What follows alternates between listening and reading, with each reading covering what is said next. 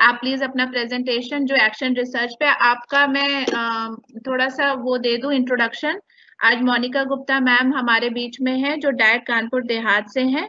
वो प्रवक्ता, शिक्षा शास्त्र हैं और उन्होंने डीएलएड प्रशिक्षुओं द्वारा पाठ योजना निर्माण और उपयोग के प्रति उदासीनता की जो समस्या होती है, उसके निवारण हेतु तो उन्होंने क्रियात्मक शोध का उन्होंने एक प्रेजेंटेशन बनाया है। तो अब मैं मोनिका मैम से अनुरोध करती हूँ कि वो अपना प्रेजेंटेशन प्लीज़ स्टार्ट करें। गुड आफ्टरनून मैं डॉक्टर मोनिका गुप्ता, प्रवक्ता, जिला शिक्षा एवं प्रशिक्षण संस्थान कानपुर, देहात। सर्वप्रथम अपने क्रियात्मक शोध के प्रस्तुतिकरण के लिए यहाँ पर अवसर देने के लिए एस यूपी का धन्यवाद देना चाहती हूँ और उसका बहुत बहुत आभार व्यक्त करना चाहती हूँ। जैसे कि हमको आठ से दस मिनट का समय दिया गया है अपने शोध को प्रस्तुतिकरण के लिए तो मैं समय को बर्बाद ना करते हुए अपना प्रस्तुतिकरण स्टार्ट करती हूँ।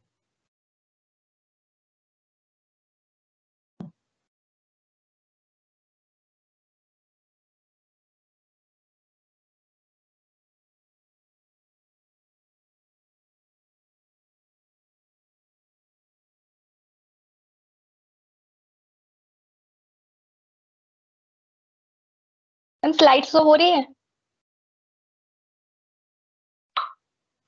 हेलो हाँ हाँ। मैम स्लाइड शो हो रहा है ना? हाँ, हो रहा है। दिख रही है दिख रही है। तो मेरे शोध का विषय है डीएलएड प्रशिक्षुओं द्वारा पाठ योजना निर्माण और उपयोग के प्रति उदासीनता की समस्या के निवारण हेतु क्रियात्मक शोध। इसमें लक्षित समूह है डीएलएड प्रशिक्षु स्थान जिला शिक्षण एवं मोनिका जी हाँ, आप अपना जो स्लाइड है उसको फुल स्क्रीन में कर दीजिए। मैम फुल स्क्रीन पर ही है। स्लाइड नेक्स्ट करिए जरा। हो रहा है नेक्स्ट नहीं हो रहा। यहाँ पे नहीं हो रहा है। यहाँ पे तो हो रहा है मैम। अच्छा चलिए आप आप करिए। आप अपना प्रेजेंटेशन करिए। अगर नहीं हो रही नेक्स्ट नहीं हो रही है। तो मैं कर मैम यहाँ तो नेक्स्ट हो रहा है। अच्छा एक नेटवर्क प्रॉब्लम हो सकता है। आप आप जब स्क्रीन शेयर कर रहे हो ना तो इंटायर स्क्रीन सेलेक्ट करिए तभी होगा अभी नहीं हो रहा है। तो बंद करिए स्टॉप शेयरिंग करिए। स्टॉप शेयरिंग कर दीजिए एक बार। Okay. हाँ जी अभी दोबारा से शेयर करेंगे तो आपसे पूछेगा वहाँ पे एक ऑप्शन आता है इंटायर स्क्रीन को सेलेक्ट करिएगा।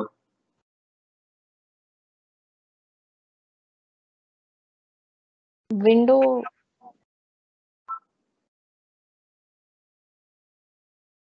विंडो नहीं सिलेक्ट करना है स्क्रीन सिलेक्ट करनी है आपको विंडो नहीं। Okay okay okay screen select करनी है।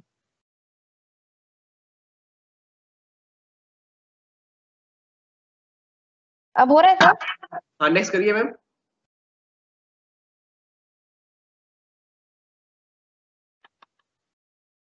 हाँ जी नेक्स्ट हो रहा है ठीक है। अब हो रहा है। ठीक है।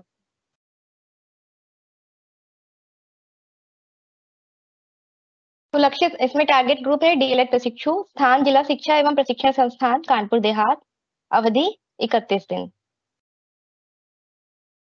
शोधकर्ता को विद्यालय अनुश्रवण कार्यक्रम के दौरान यह देखने को मिला कि इंटर्नशिप के लिए आए डीएलएड प्रशिक्षु प्रभावशील शिक्षण नहीं कर पा रहे हैं। वे शिक्षण कार्य करने में अनेक गलतियाँ करते हैं और शिक्षण कार्य को क्रमबद्ध तरीके से पाठ योजना के अनुसार भी नहीं कर पा रहे हैं।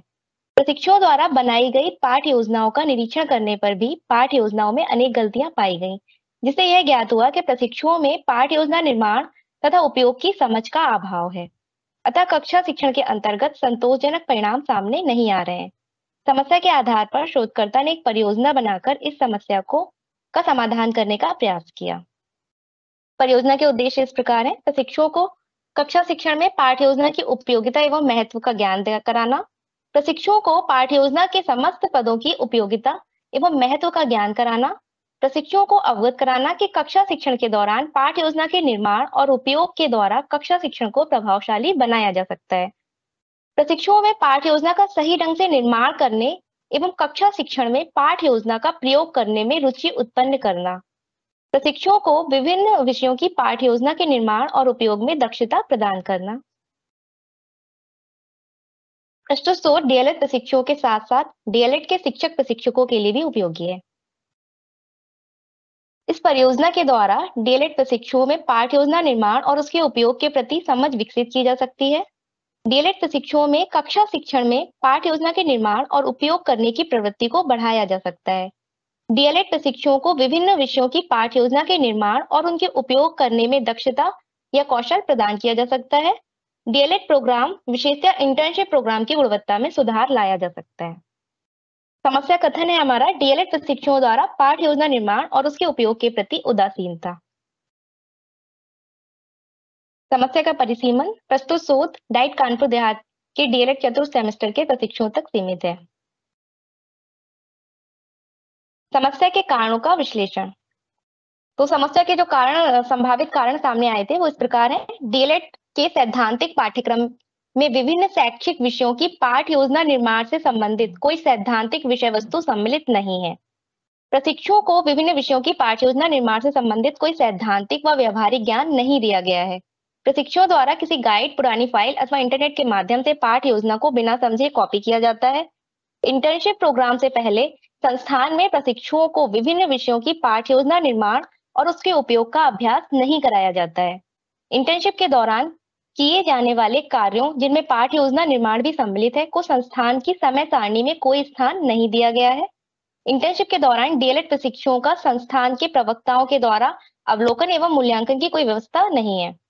इसके संबंध में जो साक्ष्य एकत्रित किए थे वो वो डीएलएड हेतु निर्धारित दो वर्षीय पाठ्यक्रम है। इसके अलावा प्रशिक्षुओं से साक्षात्कार, प्रवक्ताओं से साक्षात्कार, संस्थान की समय सारणी और प्रशिक्षुओं द्वारा बनाई गई पाठ योजना का अवलोकन। इस परियोजना के लिए दो, दो क्रियात्मक परिकल्पनाएँ बनाई गई। पहली कार्यशाला के माध्यम से विभिन्न विषयों की पाठ योजना के निर्माण से संबंधित उचित प्रशिक्षण कार्यक्रम के द्वारा प्रशिक्षुओं में पाठ योजना के निर्माण के प्रति रुचि और समझ विकसित की जा सकती है।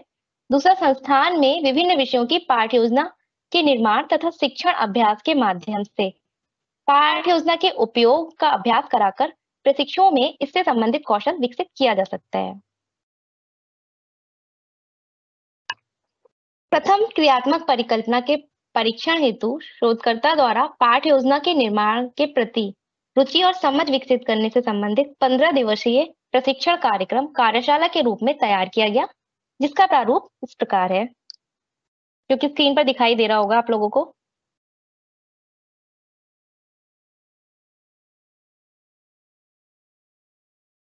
इसमें ओरिएंटेशन ऑफ़ वर्कशॉप है नॉलेज अबाउट टीचिंग स्किल्स है नॉलेज अबाउट टीचिंग मेथड्स है detail knowledge about common steps of lesson plan developing lesson plan और इन सबसे संबंधित एक्टिविटीज़ हैं। डिफरेंट सब्जेक्ट्स की डिफरेंट डिफरेंट लेसन प्लान और उनसे संबंधित एक्टिविटीज़ को इसमें स्थान दिया गया। इसके लिए प्रयुक्त जो संसाधन उपयोगी हैं, वो हैं प्रशिक्षण कार्यक्रम हेतु विषय विशेषज्ञ पीपीटी प्रदर्शित करने हेतु लैपटॉप प्रोजेक्टर स्क्रीन व्याख्यान हेतु sound mic stationery photocopy print out आदि हेतु प्रिंटर और प्रशिक्षण हेतु अन्य जो उपकरण होते हैं। परिणाम, शोधकर्ता ने प्रथम क्रियात्मक परिकल्पना के परीक्षण हेतु बनाई गई योजना के अनुरूप कार्य किया और इसके अवलोकन के पश्चात उसने पाया कि अधिकतर प्रशिक्षु पाठ योजना के विभिन्न पदों को समझकर उसके निर्माण में रुचि ले रहे हैं। लेकिन अभी भी प्रशिक्षुओं में कक्षा शिक्षण के दौरान पाठ योजना का उपयोग करने का कौशल का अभाव है। अतः शोधकर्ता ने द्वितीय परिकल्पना के परीक्षण हेतु भी कार्य किया। शोधकर्ता द्वारा संस्थान में प्रशिक्षुओं के विभिन्न प्रशिक्षुओं से विभिन्न विषयों की पाठ योजना का निर्माण तथा सिमुलेटेड टीचिंग के माध्यम से पाठ योजना के प्रयोग का अभ्यास करवाकर इससे संबंधित कौशल विकसित करने हेतु 16 दिवसीय शिक्षण अभ्यास कार्यक्रम तैयार किया गया या कराया गया, जिसकी रूपरेखा इस प्रकार है।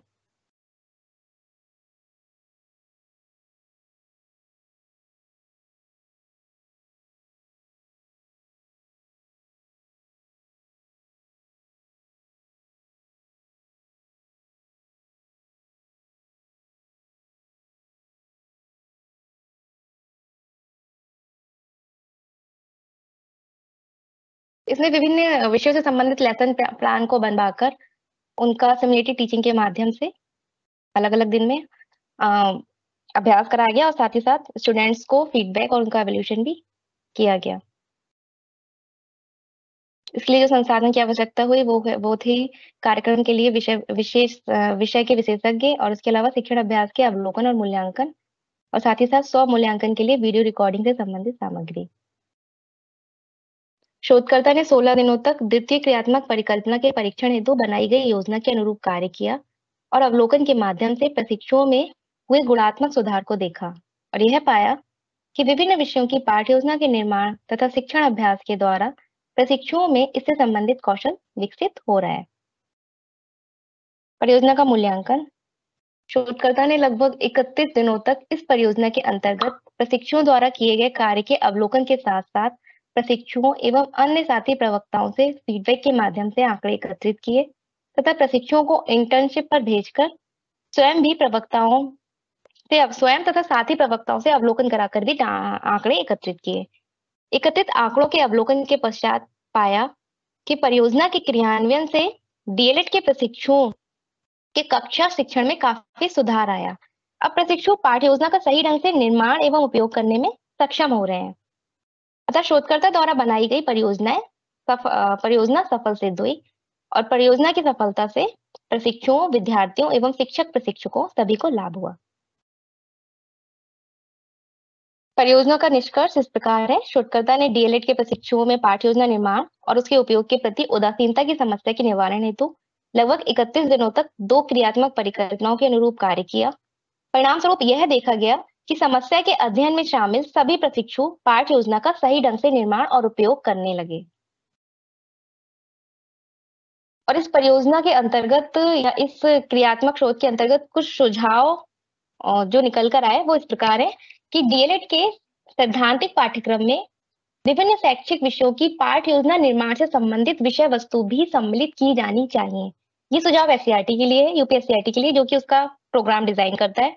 नेक्स्ट है प्रशिक्षुओं को विभिन्न विषयों की पाठ योजना के निर्माण का सैद्धांतिक एवं व्यवहारिक ज्ञान देने हेतु समय सारणी में इंटर्नशिप प्रोग्राम के दौरान किए जाने वाले कार्यों को भी स्थान दिया जाना चाहिए। जैसा कि आ, हमारी डाइट में और मैंने और भी डाइट से, से इस बारे में कंफर्म किया था कि उनकी जो टाइम टेबल है उसमें इंटर्नशिप प्रोग्राम के दौरान किए जाने वाली एक्टिविटीज़ का कोई भी स्थान नहीं दिया गया है। तो बच्चों को पता ही नहीं होता कि उनको वहाँ जाके करना क्या है। नेक्स्ट है, प्रशिक्षण प्रोग्राम अथवा कार्यशाला के माध्यम से भी प्रशिक्षुओं में पाठ योजना निर्माण के प्रति रुचि और समझ को विकसित करना चाहिए। अगर हम उसको डीएलएड के सैद्धांतिक विषय में सम्मिलित नहीं कर सकते, क्योंकि वो तो एच का या जो हमारा प्रोग्राम जो नियामक संस्था होती है, उसके हाथ में होता है तो हम अपने लेवल पर डाइट स्तर पर इससे संबंधित प्रशिक्षण या कार्यशाला को ऑर्गेनाइज कराकर बच्चों में पाठ्य योजना निर्माण के प्रति जो रुचि होती है और समझ होती है, उसको भी विकसित कर सकते हैं। नेक्स्ट है इंटर्नशिप प्रोग्राम से पहले। संस्थान में पाठ योजना निर्माण और उसके प्रयोग का अभ्यास कराना चाहिए। बच्चों को इंटर्नशिप पे भेजने से पहले पाठ योजना का निर्माण और अभ्यास भी संस्थान में प्रैक्टिस टीचिंग के माध्यम से कराना चाहिए। और लास्ट है इंटर्नशिप के दौरान डीएलएड प्रशिक्षुओं का संस्थान के प्रवक्ताओं के द्वारा अवलोकन एवं मूल्यांकन किए जाने की भी व्यवस्था की जानी चाहिए और ये सुझाव भी हमारा एस और डाइट के लिए है। और इसी के साथ ही मेरा ये प्रेजेंटेशन समाप्त होता है। धन्यवाद।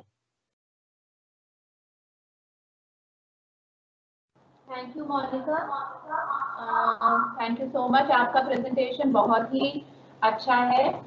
और हम्म। आपने बहुत मेहनत से इस प्रेजेंटेशन को कराया। धन्यवाद करती हूँ कि उन्होंने बहुत अच्छा प्रेजेंटेशन दिया। उन्होंने बहुत अच्छी तरह से एक बहुत जल्दी 10-15 मिनट के ही ड्यूरेशन में उन्होंने एक्शन रिसर्च जो अपना प्रेजेंट किया वो बहुत ही इफ़ेक्टिव था। उनका टॉपिक भी बहुत अच्छा था। उनको धन्यवाद देते हुए अब मैं अपनी दूसरी प्रेजेंटर विनीता सिंह मैम जी को बोलती हूँ कि वो अपना प्रेजेंटेशन प्लीज़ शुरू करें। विनीता सिंह मैम प्लीज़ अपना प्रेजेंटेशन शुरू करिए। Yes ma'am Vinita Singh ma'am आप मुझे सुन पा रही हैं? हाँ। यस मैम नमस्ते। नमस्ते हाँ, आ, आपकी आवाज़ नहीं आ रही है? मैम आवाज़ जा रही है?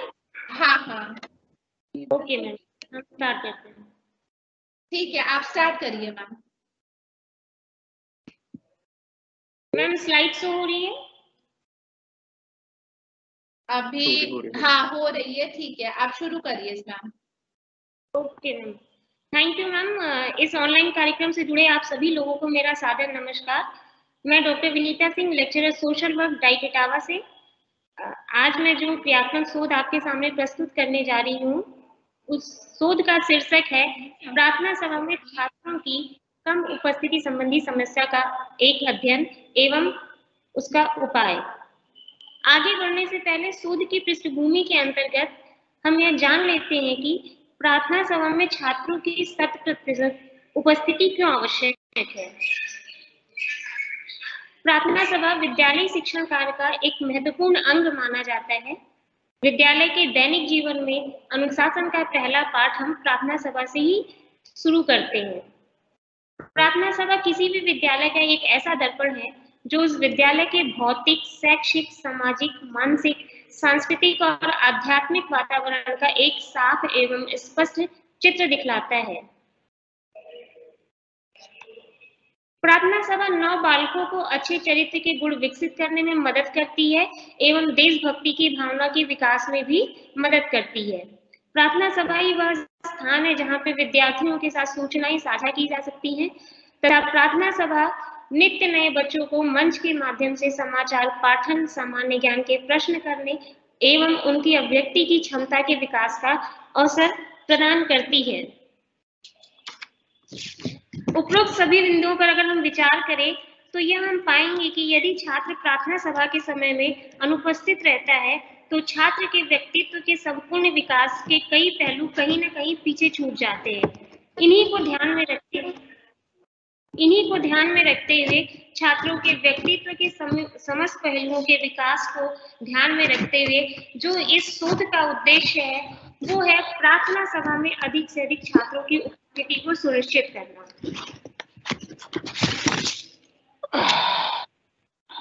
सोच संबंधी परिकल्पना के अंतर्गत हम देखते हैं कि छात्र प्रार्थना सभा के आयोजन के महत्व को शायद उतनी अच्छे तरीके से नहीं समझ पाते, अतः वो प्रार्थना सभा में अपनी उपस्थिति को अनिवार्य नहीं समझते। या फिर हम दूसरे शब्दों में कहें कि यदि छात्र प्रार्थना सभा के आयोजन के महत्व को अगर अच्छे से समझेंगे तो वह प्रार्थना सभा में उपस्थित होना आवश्यक भी समझेंगे। दूसरी परिकल्पना है, छात्रों का समय पर स्कूल न आने की वजह से प्रार्थना सभा में छात्रों की उपस्थिति कम रहती है। तीसरी परिकल्पना है, प्रार्थना सभा आयोजित किए जाने का समय निश्चित न होने से छात्रों की उपस्थिति की संख्या कम होती है। जैसा कि हम सभी जानते हैं कि कोविड के दौरान कई बार स्कूल बंद हुए और कई बार स्कूल खुले। जब स्कूल खुले तो भी सोशल डिस्टेंसिंग के नियमों का पालन करते हुए हमें बच्चों को सिर्फ़ में स्कूल बुलाना पड़ा, जिससे कहीं ना कहीं प्रार्थना सभा जो एक निश्चित समय पर आयोजित होती थी, वो कहीं ना कहीं डिस्टर्ब हुई। जिससे कि जो बच्चे थे, वो प्रार्थना सभा डेली कर नहीं पाते थे या अल्टरनेट डेज़ पे स्कूल खुलते थे तो कहीं ना कहीं जो है उनकी उपस्थिति इससे बाधित हुई। और जो लास्ट परिकल्पना है, प्रार्थना सभा में शिक्षकों की अनुपस्थिति की वजह से छात्र जो है प्रार्थना सभा में आना अनिवार्य नहीं समझते। जैसा कि हम सभी जानते हैं, शिक्षक शिक्षक कार्य के अलावा अन्य कार्यों में भी लगे होते हैं तो प्रार्थना सभा में उनकी उपस्थिति 100 परसेंट सुनिश्चित करना भी एक बहुत बड़ा चैलेंज है हम सभी के लिए। अब हम क्रिया विधि के अंतर्गत आते हैं तो शोध के उद्देश्यों को ध्यान में रखते हुए क्रिया विधि के अंतर्गत अवलोकन के माध्यम से हमने प्रार्थना स्थल, कक्षा का एवं छात्र उपस्थिति रजिस्टर का अवलोकन किया और अवलोकन के माध्यम से यह जानने की कोशिश की कि कौन स्टूडेंट है जो छात्र या कौन छात्र है जो प्रार्थना सभा में या कक्षा में लगातार अनुपस्थित हो रहा है। और साक्षात्कार के माध्यम से हमने प्रार्थना, साक्षात्कार के माध्यम से हमने प्रार्थना सभा में अनुपस्थित चल रहे बच्चों के समस्याओं को या फिर उनके कारणों को जानने की कोशिश की तथा उनके माता पिता से भी इसकी रिगार्डिंग हम लोगों ने बात की। क्रिया विधि के दौरान हमने छात्रों को कक्षा के दौरान इवन प्रार्थना सभा में भी छात्रों को प्रार्थना सभा आयोजित किए जाने के महत्व के बारे में अवगत कराया, जो हमने पृष्ठभूमि के अंतर्गत बात की थी। उन्हीं चीज़ों को हमने छात्रों के सामने एक बार फिर से दोहराया। हमने मोटिवेट किया ताकि छात्र जो है प्रार्थना सभा में डेली उपस्थित हो सके। दूसरा, छात्र के अभिभावकों से बात की, उन्हें प्रोत्साहित किया ताकि बच्चों को वो विद्यालयी समय में, स्कूल के समय में घरेलू कार्यों में न लगाए। और तीसरी जो हमने क्रियाविधि की, वो थी प्रतिदिन सब, प्रार्थना सभा को एक निश्चित समय पर आयोजित किया गया। और वो सभी वो सभी चीज़ें हमने प्रार्थना सभा में की गतिविधियों में शामिल किया, जो बच्चों को प्रार्थना सभा में उपस्थित होने के लिए मोटिवेट या प्रभावित करती है। साथ ही प्रार्थना सभा में शिक्षकों की प्रतिशत उपस्थिति को भी सुनिश्चित करने की कोशिश की गई। मूल्यांकन के अंतर्गत आंकड़ों के संकलन एवं विश्लेषण के आधार पर पूर्व एवं पश्चात की स्थिति का तुलनात्मक अध्ययन किया गया। इस अध्ययन के अंतर्गत हमने वही परिकल्पना जो हमने बनाई थी, उसी परिकल्पना पे हमने काम करना शुरू किया, जिसमें हमारी पहली परिकल्पना के अंतर्गत जो गतिविधि की गई, वो ये थी कि प्रार्थना सभा आयोजित किए जाने की महत्व को, से बच्चों को अवगत कराया। वो हमने क्लासरूम में भी अवगत कराया। क्लासरूम के बाहर जब बच्चे प्ले ग्राउंड में होते हैं, वहाँ पे भी हमने उन्हें अवगत कराया। और प्रार्थना सभा में जो बच्चे डेली आते थे, उन्हें भी हमने उनकी उपस्थिति को अच्छा और करने के लिए मोटिवेट किया। जिसमें कि अभी कोविड में ऐसा देखा गया कि स्कूल में केवल 50 से पचपन प्रतिशत ही बच्चे हमारे डेली उपस्थित हो रहे हैं। तो जब प्रार्थना प्रार्थना सभा में उनकी उपस्थिति देखी गई तो वो और भी कम थी। तो डीएलएड स्टूडेंट के माध्यम से जो अभी फ़िलहाल इंटर्नशिप में है और जब हम सपोर्टिव सुपरविजन के लिए स्कूल पे जाते हैं तो वहाँ प्रार्थना सभा के लिए में बच्चों का टाइम से स्कूल आने के लिए मोटिवेट किया गया है, जिसमें कि बच्चों की उपस्थिति जो है, अब स्कूल लगातार खुल रहे हैं, चल रहे हैं तो उसमें बच्चों की उपस्थिति में जो उनकी उपस्थिति थी, उनका अटेंडेंस ज़्यादा देखा गया इसके साथ ही मोहल्ला क्लासेस के थ्रू और लर्निंग जो सर्किल चल रहे हैं, उसके थ्रू टीचर्स के द्वारा जो है अभिभावकों को भी प्रेरित किया गया जब हमारी मीटिंग चल रही होती है एस की मीटिंग चल रही होती है तो उसमें भी अभिभावक जब पार्टिसिपेट करते हैं तो वहाँ पे बच्चों को टाइम से स्कूल भेजने के लिए उन्हें मोटिवेट किया गया उसके हमारी जो बच्चों की उपस्थिति थी, वो पहले की तुलना में अच्छी हुई। प्रतिदिन प्रार्थना सभा का निश्चित समय पे आयोजन किए जाने के पश्चात भी बच्चों की उपस्थिति में जो है बदलाव देखा गया है। और साथ ही हम लोग हम लोगों के थ्रू ये प्रयास किया गया कि टीचर, टीचिंग के दौरान, स्कूल के दौरान उन सभी कार्यों से बचे जो कि उनको सेक्शन कार्यों में अवरोध उत्पन्न करते हैं। तो उसके अकॉर्डिंग भी बच्चों की उपस्थिति में बढ़ोतरी देखी गई। निष्कर्ष एवं सुझाव के अंतर्गत ये पाया गया है कि आंकड़ों के विश्लेषण के आधार पर अगर हम उपरोक्त गतिविधियों को लगातार एक शिक्षक द्वारा संचालित किया जाए तो प्रार्थना सभा में छात्रों की उपस्थिति को हम सुनिश्चित कर सकते हैं। उपरोक्त गतिविधियों को अन्य स्कूल में समान प्रकार के बच्चों, विशेषता रखने वाले बच्चों पे भी लागू किया जाए तो छात्रों की प्रार्थना स्थल पे उपस्थिति को बढ़ाया जा सकता है। इस एक्शन रिसर्च की कुछ अपनी सीमाएँ थी, क्योंकि ये एक्शन रिसर्च हमें एक निश्चित अवधि में, एक निश्चित समय में करना पड़ रहा था। तो कुछ ऐसी चीज़ें थी जो हमारे इससे छूट गई, और हम जानते हैं कि एक्शन रिसर्च एक कंटिन्यूस रिसर्च है। तो जब हम इस रिसर्च को आगे कंटिन्यू करेंगे तो हम इन चीज़ों को भी ध्यान में रखेंगे। जैसे विद्यालय की घर से दूरी बच्चों के लिए बहुत बड़ा चैलेंज है कि हम विद्यालय विद्यालय आसपास जो हमारे विद्यालय है या बच्चों की घर से दूरी ज़्यादा है तो उन्हें टाइम से विद्यालय पहुँचना भी उनके लिए एक चैलेंज है। छात्र की आर्थिक समस्या हम सभी जानते हैं कि कोविड के दौरान जो है, बहुत से पेरेंट्स के व्यवसाय जो है उनसे दूर हो गए तो छात्रों को अभी क्या है, पारिवारिक व्यवसाय में लगाया गया है। तो उन छात्रों को कैसे उनके माता पिता को मोटिवेट किया जाए कि वो उस बच्चों को उस टाइम के लिए, विद्यालय के टाइम के लिए उस व्यवसाय में ना लगाए? छात्र की रुचि ये भी बहुत बड़ा इम्पोर्टेंट रोल प्ले करता है कि छात्रों की स्कूल में उपस्थिति। छात्र बहुत दो साल से स्कूल में कभी आ रहे, कभी नहीं आ रहे तो ये भी एक बहुत बड़ा पॉइंट है कि छात्रों की रुचि भी विद्यालय आने में होनी चाहिए। परिवार का व्यवसाय ये भी एक बहुत बड़ा इंपॉर्टेंट रोल प्ले करता है बच्चों के स्कूल में उपस्थिति और शिक्षक का व्यवहार आदि चीज़ें जो है, जिसे इस शोध में शामिल नहीं किया गया। यदि हम आगे इस शोध को अभी फिर से जब कंटिन्यू करते हैं तो हम ये चीज़ों को ध्यान में रखते हुए और उपस्थिति को और बेटर बनाने की कोशिश करेंगे। धन्यवाद।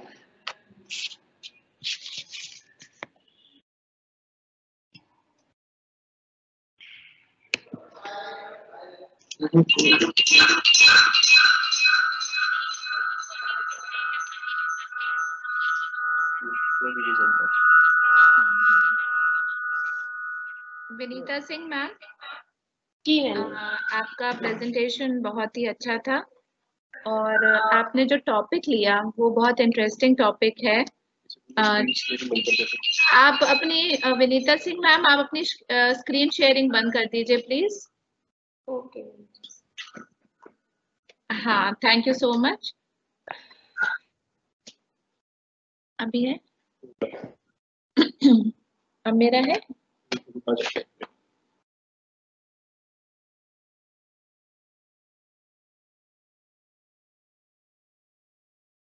ठीक है। हाँ विनीता सिंह मैम का जो प्रेजेंटेशन था, वो बहुत ही अच्छा था। उसका टॉपिक मुझे बहुत पसंद आया कि उन्होंने छात्रों की जो उपस्थिति है उसको उन्होंने एक एक्शन रिसर्च का टॉपिक लिया कि जो प्रार्थना सभा में उनकी उपस्थिति कम क्यों होती है। ये जो टॉपिक है, ये एक टीचर ही इसको महसूस कर सकता है। जैसे हम एक्शन रिसर्च की बात करते हैं तो हम प्रॉब्लम्स को पहले देखते हैं कि हमने अपने आसपास के माहौल में, अपने परिवेश में, अपने शिक्षण, शिक्षा में हमने क्या प्रॉब्लम को फेस किया और उसको लेकर के हम एक्शन रिसर्च को डिज़ाइन करते हैं और उसको इम्प्लीमेंट करते हैं। तो विनीता सिंह मैम का जो टॉपिक था, बहुत ही उसमें उनकी रुचि के साथ साथ उनका अनुभव बोलता है कि उन्होंने देखा होगा ज़रूर कि विद्यालयों में छात्रों के बीच में ये समस्या आती है, शिक्षकों को ये समस्या दिखाई देती है। उसको लेकर के उन्होंने बहुत ही अच्छा एक्शन रिसर्च का काम किया, उसके लिए मैं उन्हें बधाई देती हूँ। और इसमें ज़रूर हमारे जो विषय विशेषज्ञ हैं, इसको बेहतर बनाने के लिए अपने सुझाव देंगे। वो हम अंत में अपने विषय विशेषज्ञों को अनुरोध करेंगे कि वो प्रेजेंटर वन जो मोनिका से मोनिका गुप्ता मैम है और विनीता सिंह मैम दोनों का के के प्रेजेंटेशन में अपने मार्गदर्शन दें अपने सुझाव दें। और अब मैं अपने जो प्रेजेंटर थ्री हैं हमारे रमाशंकर सर जी आ, उनको अमरोहा डाइट से हैं। और उनका एक्शन रिसर्च का टॉपिक है action research project on English dictation in upper primary school ये भी बहुत ही इंटरेस्टिंग टॉपिक है। मैं आप सभी लोगों से आशा करती हूँ कि आप लोग इस प्रेजेंटेशन को भी अच्छे से सुने, देखें, समझें और इसमें अपने सुझाव अंत में हमें दें। तो मैं अपने जो थर्ड प्रेजेंटर हैं, उनको अनुरोध करूँगी कि वो अपना प्रेजेंटेशन स्टार्ट करें। रमाशंकर सर, आप मुझे सुन पा रहे हैं तो अपना प्रेजेंटेशन आप तुरंत स्टार्ट कर दीजिए। जी जी जी गुंजन मैडम बहुत बहुत शुक्रिया बहुत बहुत धन्यवाद आपका। आ, क्या मेरी आवाज़ मिल पा रही है हाँ, ठीक है ठीक है sir.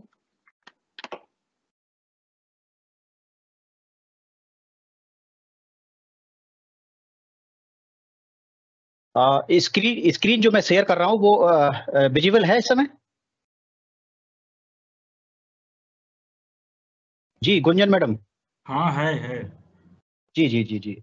hello everyone and good noon and welcome to this बिल्कुल दिखाई जी, दे रही है आपकी स्क्रीन और आप भी दिखाई दे रहे हैं जी जी जी जी and welcome to this session of presentation regarding action research Uh, before I start my presentation, I want to uh, convey my high obligation uh, from the bottom of my heart to respected director sir SCERT, uh, joint director sir SSA, team SCERT, and especially uh, I am very thankful to uh, Gunjan Rautela madam जिन्होंने मुझे इस काबिल समझा और यहाँ presentation के लिए आमंत्रित किया and who are joining with us uh, at the moment.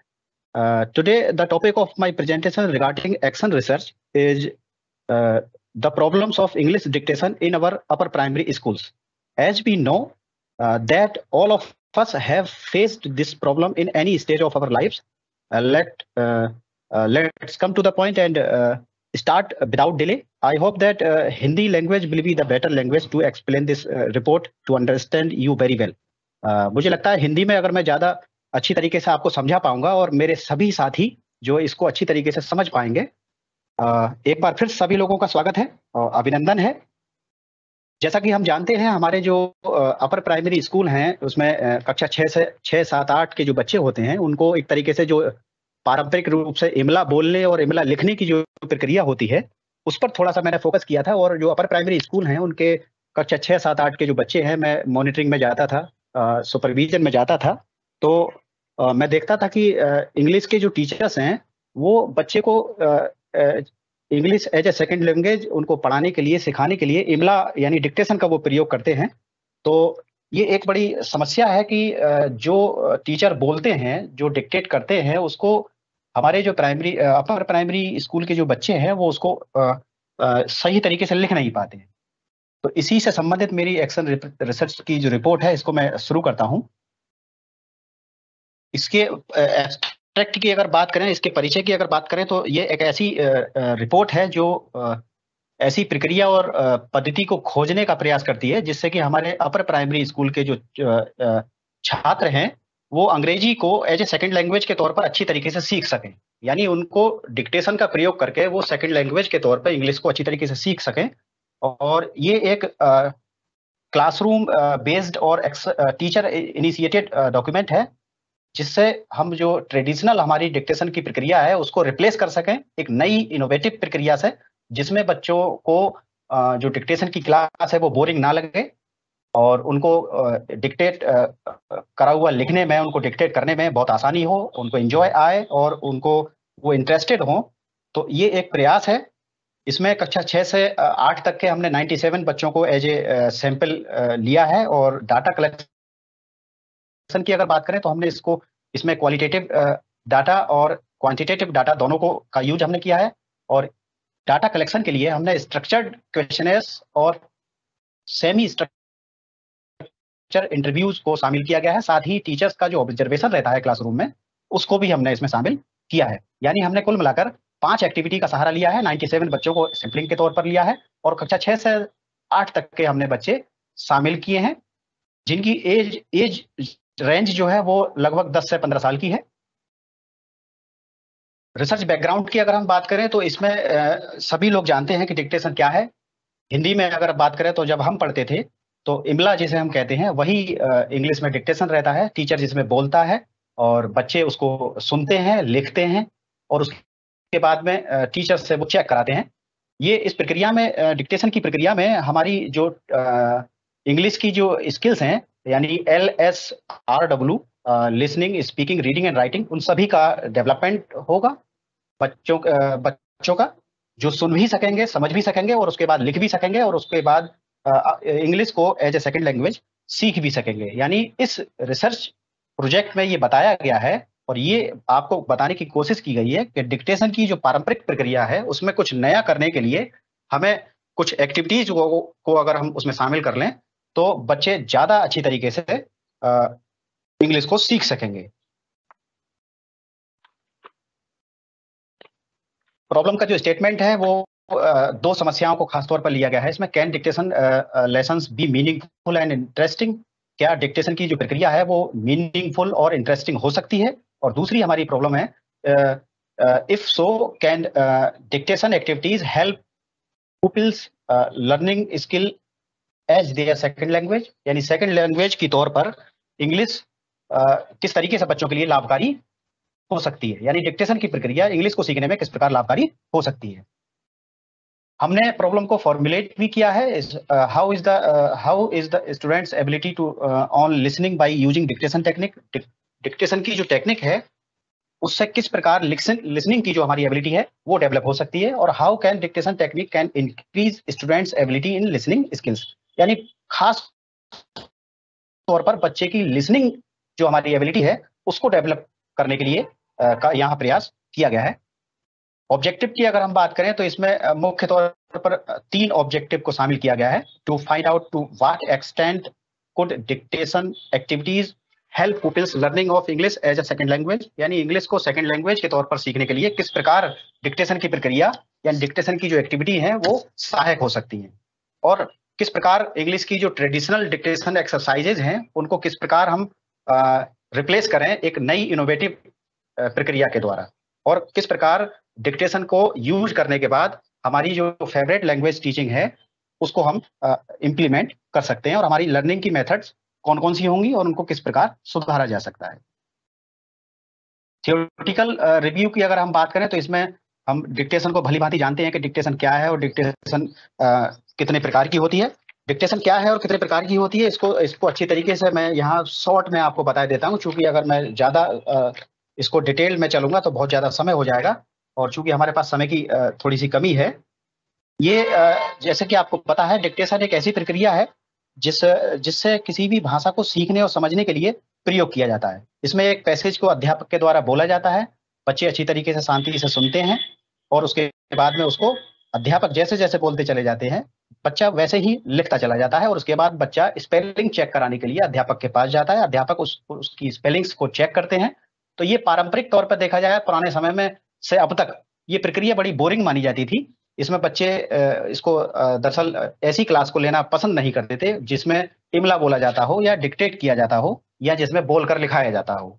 अमूमन बच्चों के हाथ भी दुखने लगते हैं और बोरिंग हो जाते हैं बच्चे और उनको कुछ इंटरेस्टिंग ऐसा दिखाई नहीं देता है, जिससे कि वो लंबे समय तक क्लास में टिक सकें।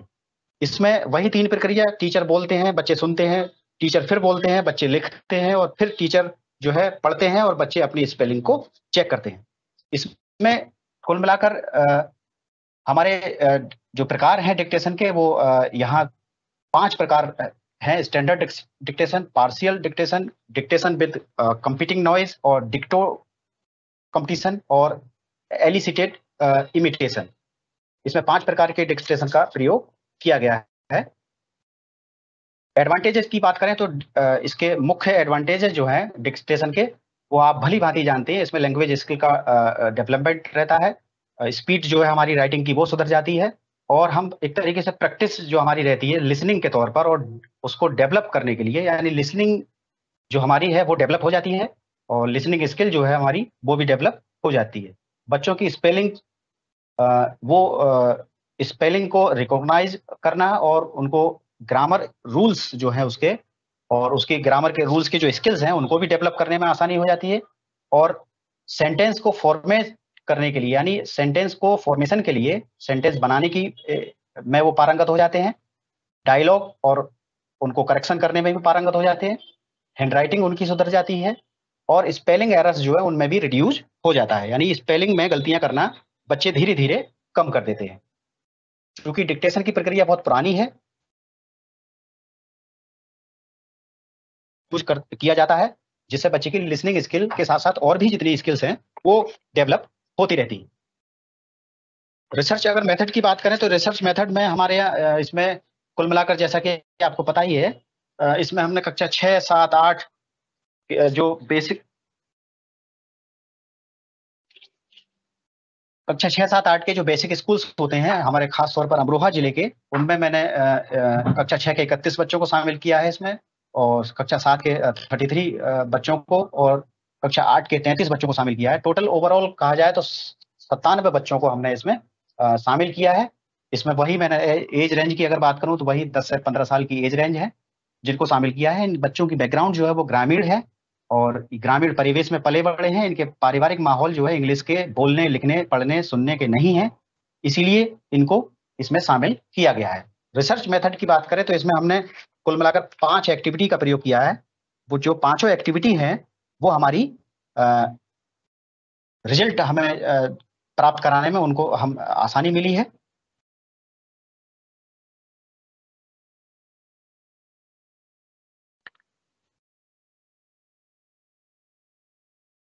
जो मेथड है हमारे रिसर्च के, उसमें हमने डाटा कलेक्शन के लिए हमने पहले जो प्रक्रिया जैसा कि आप स्क्रीन पर देख रहे हैं, जो चित्र आप देख रहे हैं, इसमें हमने प्लानिंग की है, उसके बाद में हमने एक्शन रिसर्च किया है ऑब्जर्वेशन किया है, और फिर इसी प्रकार हमने पुनः रीप्लानिंग की है, और उसके बाद सो फोर्थ हम इसी तरीके से चलते चले गए हैं। सैम्पलिंग के लिए हमने कक्षा छः, सात, आठ के बच्चे लिए हैं नाइन्टी सेवन बच्चे लिए हैं, इसमें हमने कुल मिला के जो एक्टिविटी की है, वो एक्टिविटी पाँच है, और इनको एक्टिविटी करने के बाद में जो डाटा कलेक्शन हमें करना है, उसके लिए हमने कुल मिलाकर दो इंटरव्यूज़ कंडक्ट किए हैं और तीन क्वेश्चनेयर एडमिनिस्ट्रेड किए हैं ऑब्जर्वेशन भी किया है क्लास में और एक चेकलिस्ट का भी प्रयोग किया है, जिससे बच्चों के रुझान और बच्चों के जो परसेप्शन है, जो प्री टेस्ट से पहले और पोस्ट टेस्ट यानी टेस्ट के बाद जो उनके रुझान और जो उनके बर्ताव और जो उनके एक्सपीरियंस में जो बदलाव आया है, उसके लिए भी हमने यहाँ पर जगह दी है।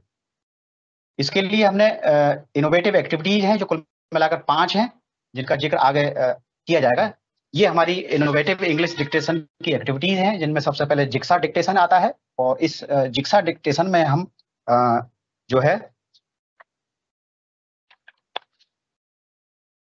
बड़े बड़े टेक्स्ट को छोटे छोटे टुकड़ों में बांट लिया जाता है, जिससे कि जो है टेक्स्ट को छोटे छोटे टुकड़ों में बांटने के बाद में छोटे छोटे वाक्यों के रूप में लिखते हैं उसको। इसमें बच्चों की सुनने, समझने और वाक्य निर्माण की कला विकसित होती है। दूसरी पार्शियल डिक्टेशन की अगर आप बात करें तो इसमें हम बच्चों को जोड़ों में बैठाते हैं, यानी एक, दो बच्चों का एक ग्रुप बनाते हैं। टेक्स्ट को दो भागों में बांट लिया जाता है और आधा आधा टेक्स्ट दोनों बच्चों को पढ़ना पड़ता है।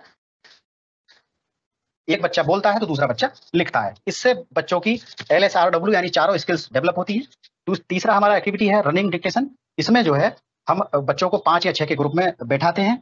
टेक्स्ट को कक्ष के मुख्य गेट पर चस्पा कर देते हैं और वन बाई वन ग्रुप का एक छात्र लिखने के लिए अपॉइंट किया जाता है। बाकी छात्र जो है, वो एक एक करके रनर के रूप में कार्य करते हैं। जो घंटी बजते ही रनर जो होते हैं, वो भाग कर जाते हैं और दरवाजे पर जो टेक्स्ट चस्पा है, उसको पढ़कर आते हैं और फिर लेखक के सामने आकर जो बच्चा लिखता है, उसको, उसके सामने बोलते हैं और बाकी जो लेखक है, वो लिखता है। इससे बच्चों में कोऑपरेशन की भावना डेवलप होती है और जब टेक्स्ट समाप्त हो जाता है, उसके बाद ये प्रक्रिया समाप्त हो जाती है। फिर जो कुछ भी हमने बोला है और लिखा है, उसको एक दूसरे से आपस में डिस्कस किया जाता है। तीसरा हमारा है ग्रामर डिक्टेशन इसमें ग्रामर डिक्टेशन में पाँच छह का ग्रुप में बच्चों को बैठाते हैं, इसमें अध्यापक बोलते हैं, बच्चे ब्रीफली जो है इंपॉर्टेंट वर्ड्स को लिखते हैं, फिर ग्रुप के सभी छात्र मिलकर अपने अपने ग्रुप में ही लिखे शब्दों से पैराग्राफ बनाते हैं। इससे क्या होता है ग्रामर जो है बच्चे की वो डेवलप होती है नए नए सेंटेंस को फॉर्म फॉर्म करने की जो एबिलिटी है वो डेवलप होती है बच्चे की। और पांचवी अंतिम जो हमारी एक्टिविटी है वो कंपोजिशन डिक्टेशन है।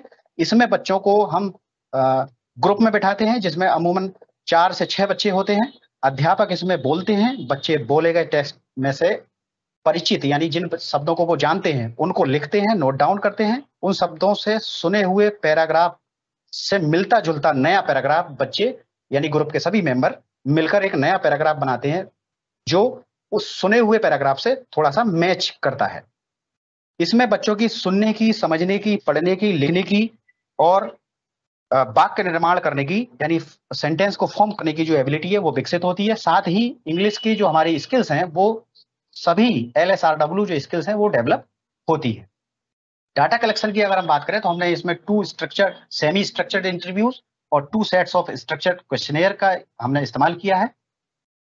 और टीचर जो क्लास में रहता है, वो ऑब्जर्वेशन भी उन्होंने किया है।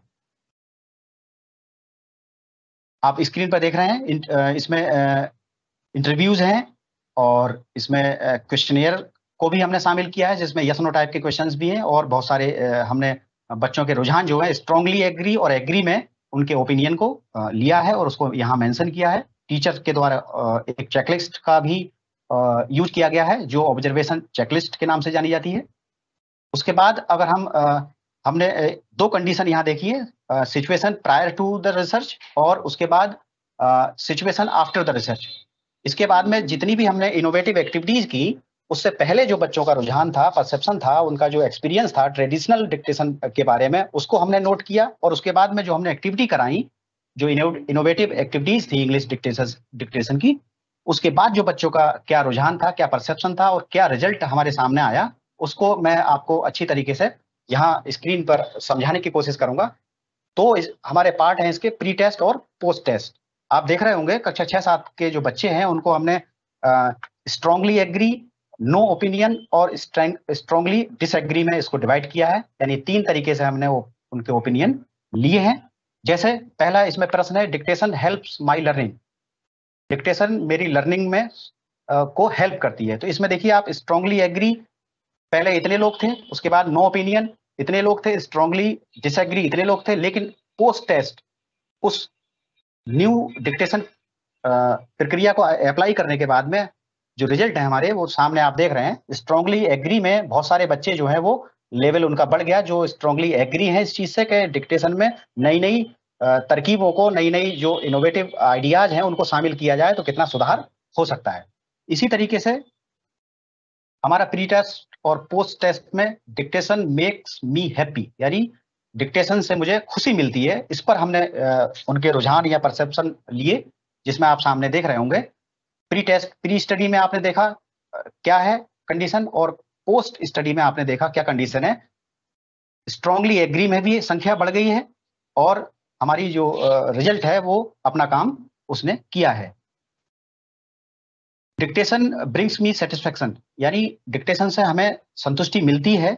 ये भी आप सामने स्क्रीन पर देख रहे हैं कि किस प्रकार प्री टेस्ट में कंडीशन थी और किस प्रकार की कंडीशन पोस्ट टेस्ट में आ गई है। यानी पोस्ट स्टडी हमने क्या डिफरेंस हमारे बच्चों के परसेप्शन में और उनकी एक्सपीरियंस में दिखाई दिए हैं। इसमें स्ट्रांगली एग्री की संख्या आप देख रहे होंगे। इधर strongly agree pre pre study में कितनी है और इसके बाद स्ट्रांगली एग्री की संख्या पोस्ट स्टडी में कितनी है, ये हमारे डिफरेंसेस है। उसके बाद आप देख रहे होंगे I like to have more dictation कि मुझे डिक्टेशन की प्रक्रिया बहुत पसंद है। इसमें भी आप प्री स्टडी और पोस्ट स्टडी के जो आंकड़े हैं, वो आप अच्छी तरीके से देख रहे होंगे। ये हमारा समरी है। इस समरी में आप जो है, देख रहे होंगे कि जो पुपिल्स हैं, उनके परसेप्शन जो डिक्टेशन पर है बिफोर और आफ्टर क्या डिफरेंस आए हैं। इसी प्रकार ये भी आप ये समरी है dictation brings me satisfaction I like to have more dictation ये आप सारी चीज़ें देख रहे होंगे। और ओवरऑल अगर हम बात करें तो ये आप आंकड़े इसमें देख रहे हैं कि क्या डिफरेंस आए हैं।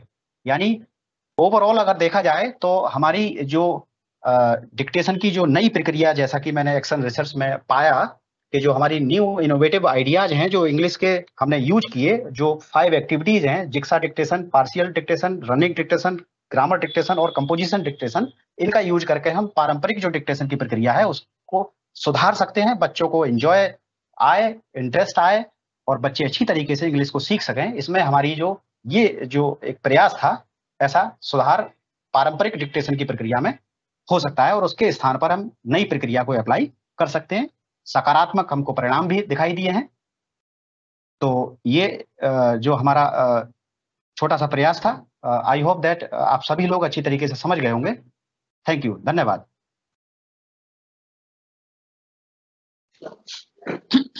मेरा ऑन है? कैमरा ऑन है। हेलो रमाशंकर सर जी जी आवाज़ आ रही है आपकी। हाँ हाँ हाँ। आपका जो प्रेजेंटेशन था नो no डाउट बहुत ही अच्छा था। आपने तो एक्शन रिसर्च के उसमें पूरा पीएचडी ही अपना प्रेजेंट कर दिया मुझे ऐसा लग रहा है। आपने इसमें बहुत मेहनत करी है। और बेसिकली मुझे आपके टूल्स बहुत अच्छे लगे। बाकी एक्शन रिसर्च ओवरऑल तो अभी हमारे जो विषय विशेषज्ञ हैं, वो हमें गाइड करेंगे कि उसमें क्या बेहतरी और हो सकती है। पर जो आपने टूल्स बनाए, जो बच्चों के लिए उसमें आपने I I feel happy to do dictation work और क्या था? Dictation bring satisfaction it makes me happy I like to have more dictation जो ये टूल का जो निर्माण किया बच्चों के लिए ये बहुत ही ज़्यादा इंटरेस्टिंग लगा मुझे। बहुत इसमें आपने uh, मतलब इंटरेस्टिंग क्वेश्चंस रखे जिसको सॉल्व करने में आई थिंक बच्चों को प्री पोस्ट और पोस्ट पोस्ट टेस्ट में दोनों ही में मज़ा आया होगा। तो आपका काम बहुत इंटरेस्टिंग रहा। भले ही वो डिक्टेशन से रिलेटेड था सब्जेक्ट से रिलेटेड था, पर बच्चों को ऐसा लगा नहीं होगा कि वो पढ़ाई के विषय में बात कर रहे हैं, वो हैप्पीनेस और सेटिस्फेक्शन के बारे में बात कर रहे होंगे। तो जी जी जी। It was really a very good work from your side और बाद में मैं अपने विषय विशेषज्ञों से इसमें ज़रूर सुनना चाहूँगी फीडबैक कि उनको इसमें क्या सुधार की आवश्यकता महसूस हो रही है। अब मैं अपने रमाशंकर जी को थैंक यू कहने के उपरांत मैं अमिता सिंह मैम हमारी जो फोर्थ प्रेजेंटर हैं उनको प्रेजेंट करने का अनुरोध करूँगी और उनसे आशा करती हूँ कि वो अपना जो प्रेजेंटेशन है वो जल्दी से प्रेजेंट करें क्योंकि हमारा टाइम वैसे भी ओवर हो चुका है। तो अमिता सिंह मैम, आप मुझे सुन पा रही हैं तो प्लीज़ अपना प्रेजेंटेशन जल्दी से स्टार्ट कर दीजिए। स्क्रीन अच्छा। एक मिनट, मैं बीच में थोड़ा इंटरप्ट करूँगी। जो हमारे अटेंडीज हैं, वो भी बीच में चैट बॉक्स में या फिर वैसे मैसेजेस कर सकते हैं कि उनको प्रोग्राम के कमेंट्स पे प्रोग्राम पे कमेंट्स डाल सकते हैं कि उनको कैसा लग रहा है या उनको क्या सुझाव देना है, वो अपने कमेंट बॉक्स पे कमेंट्स डाल सकते हैं हमारे जो अटेंडीज हैं। ओके अमिता मैम आपका प्रेजेंटेशन स्टार्ट करते हैं। ओके मैम आप मुझे देख पा रही हैं मैम दिख रहा है। आप अपना वो शेयर कर दीजिए। मैंने शेयर का ऑप्शन क्लिक करके स्क्रीन शेयर किया क्या स्क्रीन शेयर हो रही है? सब हो रही है सब हो रही है।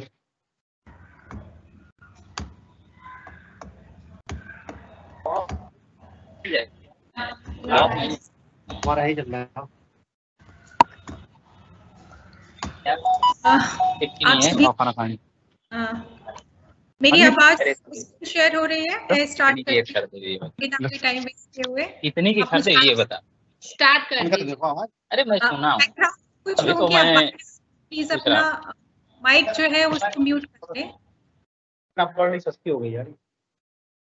तो ग्यारह बारह सौ रुपए की है। रमा शंकर जी प्लीज़ अपना माइक ऑफ़ कर दीजिए। भाई साहब। अपना माइक ऑफ़ कर लीजिए। आज का जो मेरा टॉपिक जिसको मैं आपके साथ शेयर करना चाहूँगी ये मेरे एक्सपीरियंसेस हैं उस दौरान के। जब कोविड 19 के समय में आ, हमें all of sudden online classes लेना स्टार्ट करना पड़ा और हम बिल्कुल भी इसके लिए प्रिपेयर्ड नहीं थे। तो उस दौरान मैंने जो कुछ आ, मेरी वॉइस आ रही है? हाँ जी प्लीज़ क्लियर आ रही है एकदम क्लियर आ रही है मैम उस दौरान जो कुछ भी मैंने देखा और समझा, उसको एक्शन रिसर्च के रूप में मैंने डॉक्यूमेंट किया है। इसको आज आपके साथ शेयर करते हुए मुझे बहुत खुशी महसूस हो रही है और आप सबका धन्यवाद कि आपने मुझे ये शेयर करने का मौका दिया। जो उस समय मेरी दिक्कत थी वो ये थी कि जो डीएलएड के स्टूडेंट्स हैं डाइट मथुरा में उस समय जो पढ़ रहे थे डीएलएड सेकेंड सेमेस्टर के ये उस दौरान की गई रिसर्च 18 अप्रैल 2020 से 9 मई 2020 के बीच ये काम किया गया था। They were reluctant to study in online classes तो इसी पर मैंने ये काम शुरू किया था। uh, शुरुआत में जैसे कि मैंने पाया बैकग्राउंड में इसके कि शुरू में जब हमने ऑनलाइन क्लासेस लेना शुरू की गूगल मीट के थ्रू तो we were able to use the lecture method only शुरू शुरू में तो बच्चों ने इसमें काफ़ी जील शो किया और वो काफ़ी इंटरेस्ट से इसमें प्रे, प्रेजेंट होते थे लेकिन कुछ समय के बाद ऐसा लगा कि उनका जो एंथुसियाज्म था वो धीरे धीरे करके खत्म होने लगा है और वो अब उतना इंटरेस्ट पार्टिसिपेट नहीं कर रहे हैं। ये मेरा ऑब्जर्वेशन था। तो इस स्टडी के जो ऑब्जेक्टिव्स थे वो पहला तो ये था कि मैं ये जानूं कि ये बच्चों की अरुचि जो हो रही है ऑनलाइन क्लासेस के लिए वो क्यों हो रही है? दूसरा मेरा जो ऑब्जेक्टिव था कि मैं इनका इंटरेस्ट दोबारा ऑनलाइन क्लासेस के लिए कैसे डेवलप कर सकती हूँ। ये जो स्टडी है, ये इसलिए खास तौर से सिग्निफिकेंट है क्योंकि हम जिस एरेना में रह रहे हैं, जिस समय में रह रहे हैं, उस समय में ये ऑनलाइन क्लासेस ही एक ऐसा माध्यम है जो अश्योर करता है कि किसी भी परिस्थिति में हम बच्चों की निर्वाध शिक्षा प्रोवाइड करा सकते हैं। तो ऑनलाइन क्लासेस में जो इनफिशियंसी है वो कैसे, वो किस प्रकार से उत्पन्न होती है, ये सभी स्टेक होल्डर को ये स्टडी इन्फॉर्म करेगी। इसके अलावा इसके जो स्टडी के रिजल्ट्स हैं, वो ये भी कहीं ना कहीं लाइट थ्रो करेंगे कि किस तरीके से हम ऑनलाइन क्लासेस का इफ़ेक्टिव इम्प्लीमेंटेशन कर सकते हैं। तो स्टेटमेंट ऑफ़ प्रॉब्लम है हमारा decreasing interest of DElEd students towards online classes ये डिलिमिटेशन इस स्टडी की ये है कि ये सिर्फ़ डीएलएड सेकेंड सेमेस्टर के स्टूडेंट्स पर जो उस समय डाइट मथुरा में स्टडी कर रहे थे, उन पर ही की गई है। और जब एनालिसिस हमने कॉजेज का किया, ये हमारा एनालिसिस दो तरीके पे बेस्ड था। एक तो सेल्फ ऑब्जर्वेशन पे बेस्ड था और इसके अलावा बच्चों से बातचीत करके हमने जूम इनफॉर्मल जूम मीटिंग में जब उनसे बात की तो कुछ कुछ कॉजेज हमको समझ में आए। सबसे पहली जो जो चीज़ हमको समझ में आई कि इम्पर्सनैलिटी होती है ऑनलाइन क्लासेस में। जब हम फेस टू फेस किसी बच्चे को कुछ बता रहे होते हैं तो वो आपको एज अ पर्सन फील करता है कि he is also a person and the teacher who is teaching is also a person लेकिन जब चीज़ें मैकेनिकल हो जाती हैं तो वो इंटरेस्ट कहीं ना कहीं लूज होने लगता है। और ये जो रिज़ल्ट था, ये इस बेस इस बात पे बेस था कि हमने जब स्टूडेंट से रिस्पॉन्स लिए तो उन्होंने हमको ऐसा बताया। तो इट इज़ अ फैक्ट और it can be in control दूसरी जो प्रॉब्लम थी वो थी इंटरेक्टिविटी uh, क्योंकि ये बिल्कुल नई शुरुआत थी तो क्लासरूम में हम सिर्फ़ लेक्चर मेथड का यूज़ कर रहे थे और बहुत सारी चीज़ें बच्चों के साथ इंटरेक्शन की जो uh, चीज़ें हम ऑफलाइन में करते हैं वो हम नहीं कर रहे थे।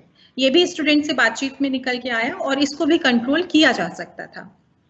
तीसरी बात मुझे जो ऑब्जर्वेशन से मैंने फील की वो थी कि बच्चे जो है इन क्लास को लेने के लिए मोटिवेटेड नहीं हो रहे हैं। ये मेरा एक अनुमान था और मुझे लगा कि इसको भी कंट्रोल किया जा सकता है। इन तीनों कॉजेस को जो पॉसिबल कॉजेस थे उनको दूर करने के लिए जो एक्शन हाइपोथेसिस बनाई। The problem may be solve if teacher will take live session doing usual activities of normal offline classes जैसे हम ऑफलाइन क्लास लेते हैं, अगर हम वैसे ही ऑनलाइन क्लासेस सेम सिनेरियो में लें तो शायद बच्चों का इंटरेस्ट दोबारा जाग सके। या बच्चों को जिस तरीके से हम क्वेश्चंस ऑफलाइन क्लासेस में पूछते हैं, उसी तरीके से अगर हम क्वेश्चन पूछे तो एक इंटरेक्शन की प्रॉब्लम भी सॉर्ट आउट की जा सकती है। इसी के साथ अगर हम शुरुआत में ही अपने टॉपिक में सब चीज़ें मेंशन कर दें कि हम आज के टॉपिक में क्या क्या पढ़ा रहे हैं, ये एक लैकिंग टाइम मतलब एक लैकिंग थी हमारी ऑनलाइन क्लासेस में कि हम शुरू में मेंशन नहीं कर रहे थे। तो बच्चे बोर्ड फील करते थे तो अगर हम शुरू में मेंशन कर दें और उनकी इम्पोर्टेंस क्या है इसको बता दें देन uh, उनका इम्पोर्टेंस uh, बताने से उनकी जो इंटरेस्ट है वो दोबारा जाग सकता है। इसके लिए जो एक्शन डिज़ाइन किया गया uh, ये हमने पह, एक हफ़्ते का टाइम लिया। इसमें एक हफ़्ते के दौरान हमने व्हाइट uh, बोर्ड का यूज़ करते हुए चूँकि हमारी पहली हाइपोथेसिस की कि हम लेक्चर जो प्रेजेंट करेंगे वो व्हाइट बोर्ड के साथ जैसे हम क्लास में ग्रीन बोर्ड से करते हैं सेम व्हाइट बोर्ड से लाइव टेलीकास्ट करेंगे। तो इसके लिए हमने व्हाइट बोर्ड का यूज़ और लाइव सेशन जो कुछ भी हम पढ़ा रहे थे, वो सीधे सीधे बच्चे के जो लैपटॉप या एंड्रॉइड फ़ोन है उस पर बिल्कुल लाइव क्लासरूम की तरह टेलीकास्ट किया गया। इसमें जो हमें मटेरियल की ज़रूरत पड़ी, वो एक व्हाइट बोर्ड और मार्कर तो था ही था। इसके अलावा आपके पास अगर कैमरा या एंड्रॉइड फ़ोन हो और उसको फिक्स करने के लिए ट्राईपॉड हो और एक, आपको जूम या गूगल मीट का ऐप इन चीज़ों की मुझे ज़रूरत पड़ी। और ये जो है, इस तरीके से मैंने एक हफ़्ते तक क्लासेस ली। शुरुआत में ही सारी चीज़ें क्लियरली मेंशन कर दी गई और जो भी क्वेश्चंस होते हैं, लगातार इंट्रोडक्टरी और डेवलपिंग क्वेश्चन के साथ लास्ट में इवेल्यूटिव क्वेश्चंस भी बच्चों से पूछे गए। और एक हफ़्ते के बाद में हमने एक इनफॉर्मल जूम मीटिंग में चूँकि संडे पड़ रहा था 26 अप्रैल को, उस दिन एक जूम मीटिंग रखी और स्टूडेंट से रिस्पॉन्स कलेक्ट किए। जो रिस्पॉन्सेज आए, उनसे जो मुझे रिज़ल्ट मिले। उसमें मुझे ये लगा कि शुरू शुरू में तो दो तीन लेक्चर में तो शुरू में उनको बहुत अच्छा लगा, लेकिन फिर धीरे धीरे उनका इंटरेस्ट रेट जो है वो नीचे की तरफ़ जाने लगा और उसके भी बच्चों ने कई अपने अपने कारण बताए और जो काफ़ी जेन्यून कारण भी थे। इन सारे कारणों को अगर हम देखें तो मोटे तौर पे दो डिवीज़न मुझे निकल के आए। एक तो पुअर कनेक्टिविटी बहुत बड़ा इशू था। और दूसरा, चूँकि हम जब व्हाइट बोर्ड पे पढ़ा रहे होते थे तो लेंथ जो थी लेक्चर की वो बढ़ जाती थी इसकी वजह से बच्चे फटीक फील करते थे। ये दोनों ही चीज़ें स्टूडेंट से हमारी इंक्वायरिंग के दौरान पता चली। दोनों ही फैक्ट थे और पुअर कनेक्टिविटी भले ही आउट ऑफ़ कंट्रोल हो लेकिन हम लेंथ क्लास की कम कर सकते थे। इसके लिए क्या किया जाए? चूँकि एक स्पाइरल क्रम है। हमने अगेन एक एक्शन हाइपोथेसिस फ्रेम की। Uh, मुझे लगा कि अगर हम व्हाइट बोर्ड की जगह पावर पॉइंट प्रेजेंटेशन का यूज़ करें। तो व्हाइट बोर्ड पे राइटिंग का जो टाइम है वो कम होगा और बच्चों को बहुत अधिक देर तक स्क्रीन टाइम नहीं देना होगा। और दूसरा अगर पुअर कनेक्टिविटी भी है तो जिस समय कनेक्टिविटी हो उस समय वो क्लासेस हम बच्चों को अवेलेबल करवा पाए। तो हम uh, एक रिकॉर्डिंग भी उनको अवेलेबल करवाएँ तो ये बेहतर होगा दोनों के लिए। तो इस समय फिर दो चीज़ों को लेकर हमने काम शुरू किया।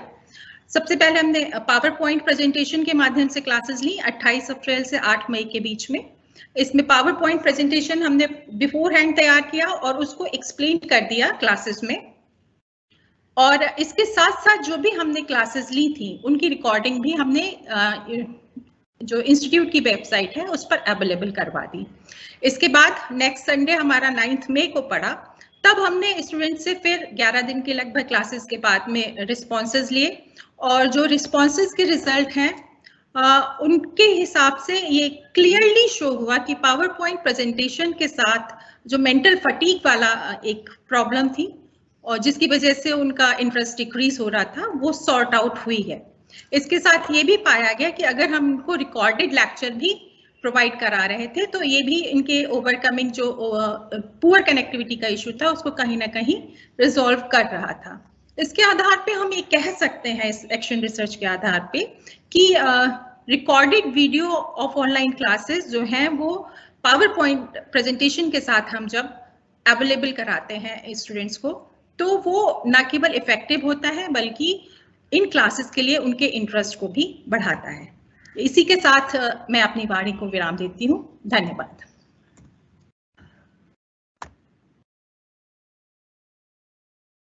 वीडियो कर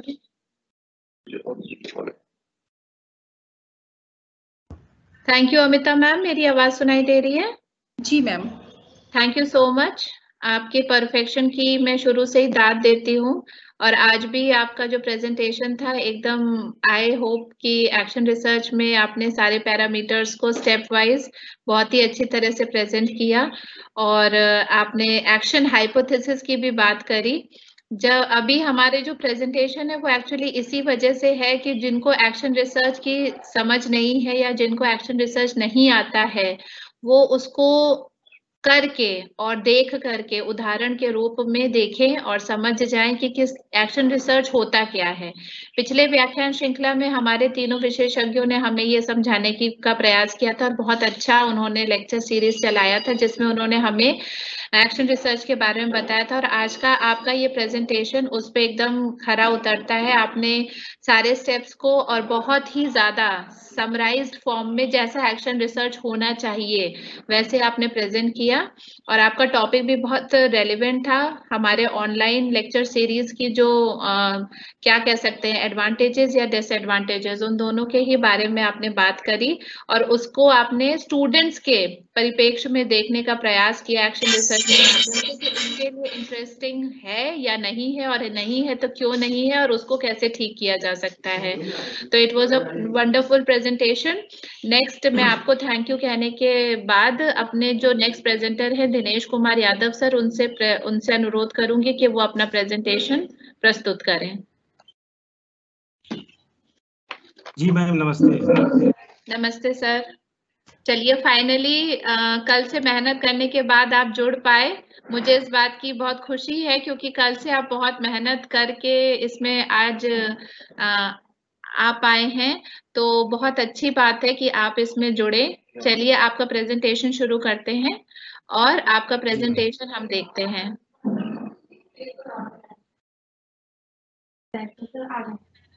ठीक है। आप अपना प्रेजेंटेशन स्टार्ट कर दीजिए सर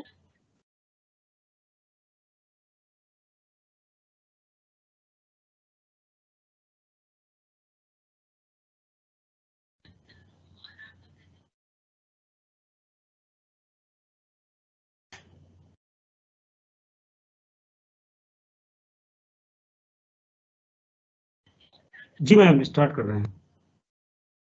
मेरी स्क्रीन प्रेजेंट हो रही मैम?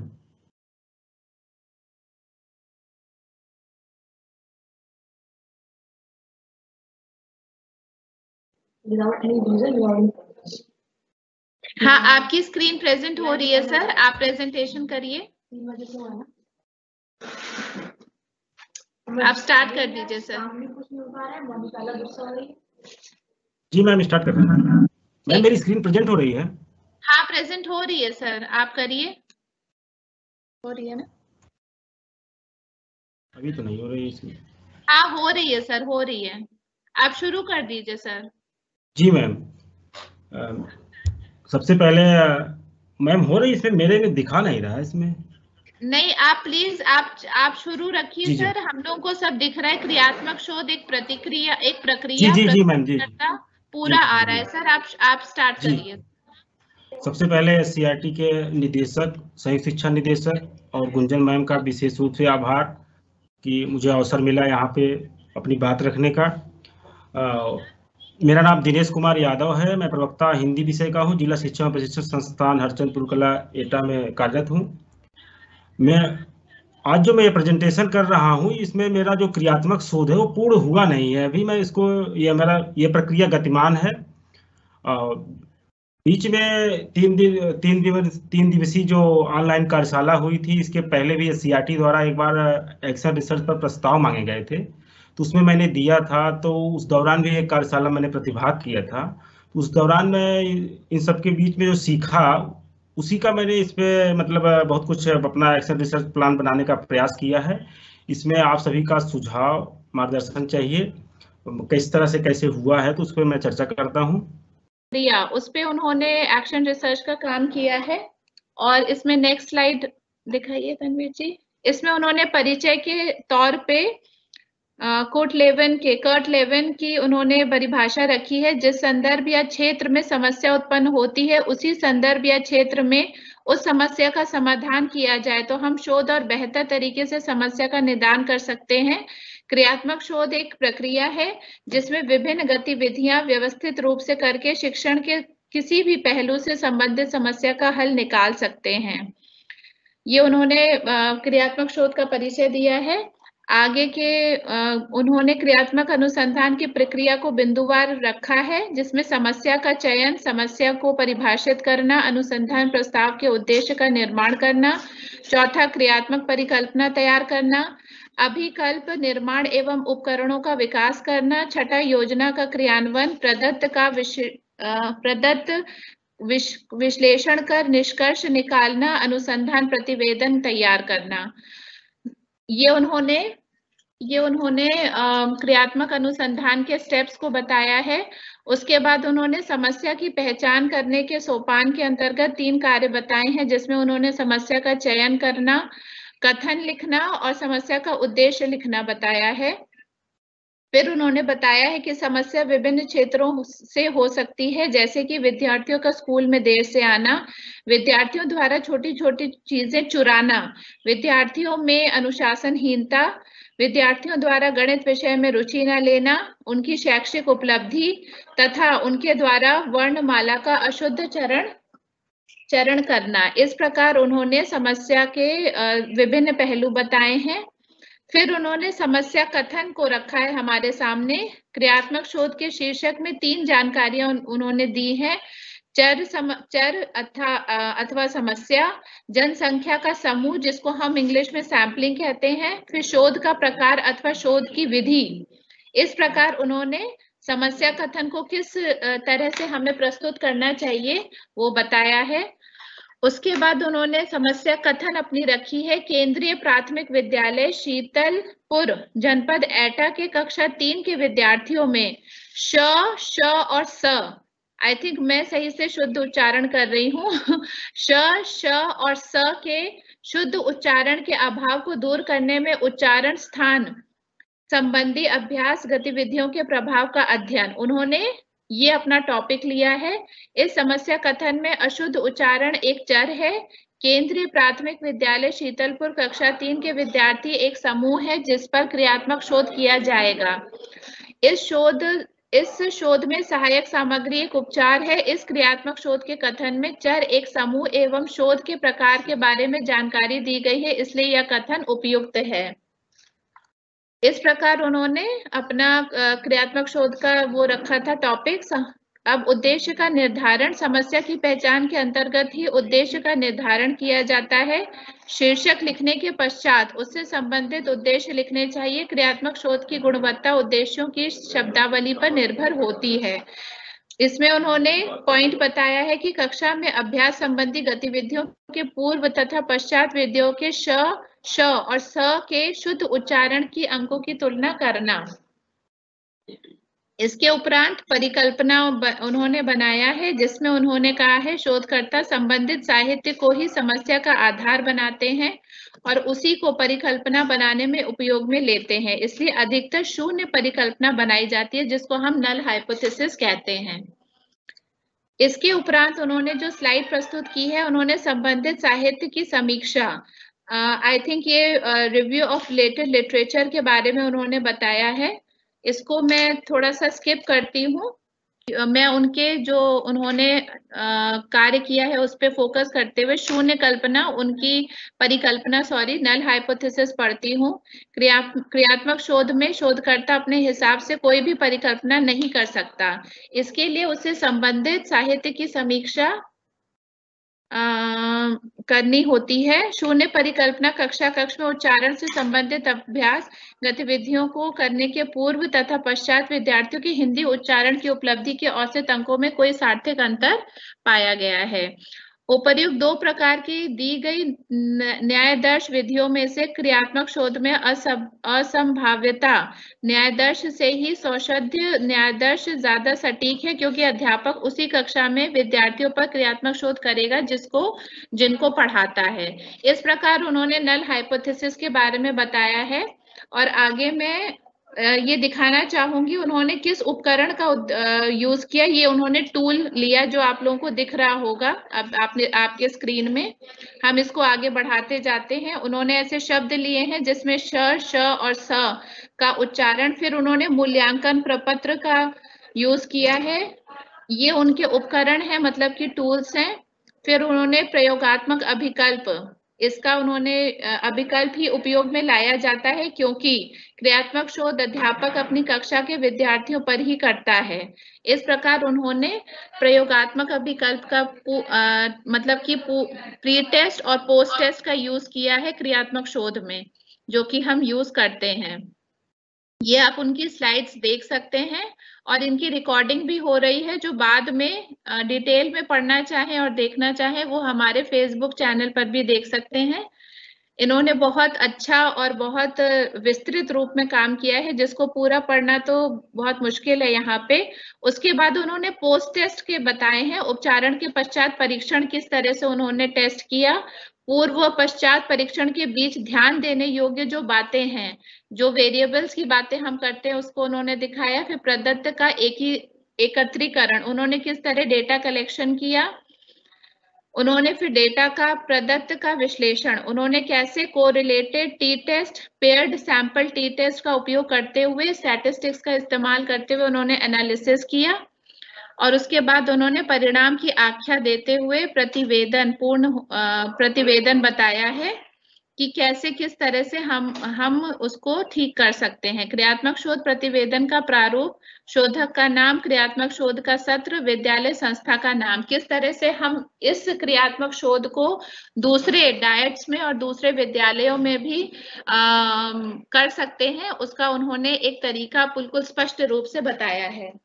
इस तरह से उन्होंने डेटाबेस ऑनलाइन दस्तावेज़ पृष्ठ संख्या अंकित करना और कैसे हम इन इन टूल्स का इस्तेमाल करते हुए प्री टेस्ट और पोस्ट टेस्ट का इस्तेमाल करते हुए हम किस प्रकार अपने स्कूल्स में और डायट्स में अपने जगहों पे श श और स के उच्चारण को सही ढंग से बच्चों का के उच्चारण को ठीक कर सकते हैं, उनके प्रोनाउंसिएशन व्यवहार को ठीक कर सकते हैं, आदत को ठीक कर सकते हैं। उन्होंने बहुत ही अच्छा प्रेजेंटेशन बनाया था। मुझे थोड़ा सा खेद है कि वो टेक्निकल प्रॉब्लम्स की वजह से जुड़ नहीं सके और अपना प्रेजेंटेशन स्वयं प्रस्तुत नहीं कर सके। मैं जितने बेहतर तरीके से, जितने कम समय में कर सकती थी, मैंने कोशिश की है। बाकी आप पूरा डिटेल फॉर्म हमारे एस e के फेसबुक चैनल पे देख सकते हैं। सभी का बहुत बहुत शुक्रिया। बहुत ही धन, बहुत सारा धन्यवाद। थैंक यू सो मच अब मैं इसको यही वाइंड अप करती हूँ और कल 12 बजे मिलते हैं। Thank you